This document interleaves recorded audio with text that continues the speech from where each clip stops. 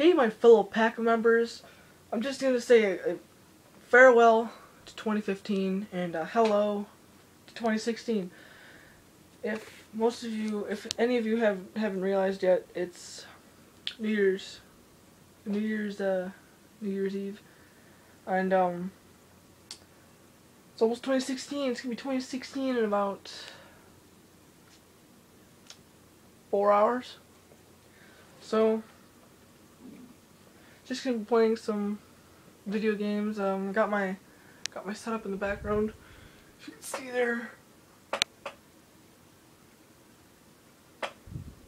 I got a piece of junk computer there.